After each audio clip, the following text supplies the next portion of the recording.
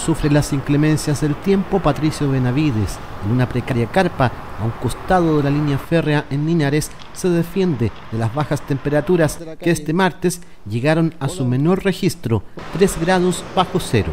Ahí no solamente decir una cosa, este, lo que da el día. Por ejemplo, esta noche que fue una de las más frías, ¿cómo te cubriste ahí? ¿Cómo sorteaste el frío?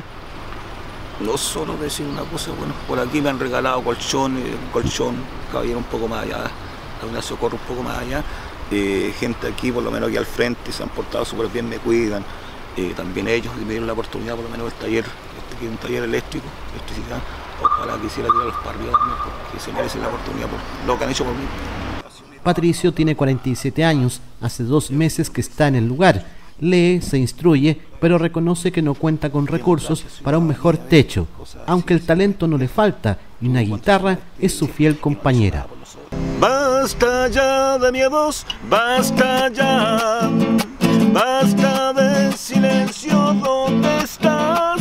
Que el corazón ya basta ya. Trabajo pido y es mi música, es mi música la que paso yo, para decir basta.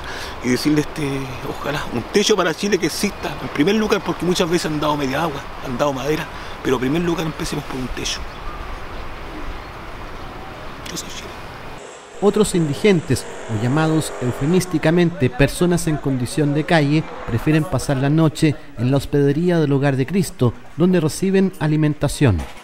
Eh, estoy aquí por abandono de hogar, por dejar mi casita sola y no hay con qué vivir porque estoy solito y estoy recién viviendo esta vida para seguir adelante. Llevo más de un año acá ya.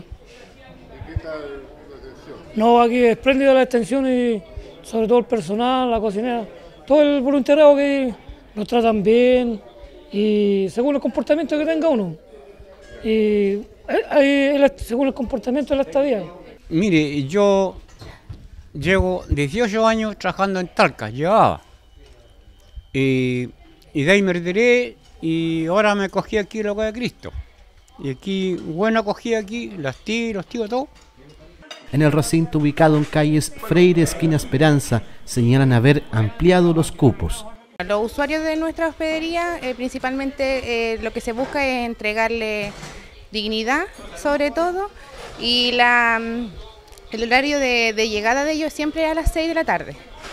Se les da su cena, eh, en las mañanas se les da su desayuno, también se les brinda eh, eh, útiles de aseo y generalmente, bueno, ellos también participan de actividades que están contempladas durante toda la semana invisibles para muchos. Lo cierto es que los indigentes o personas en condición de calle difícilmente se pueden quejar de alertas sanitarias ambientales o pagar una multa. Son la gran deuda de la sociedad local y nacional.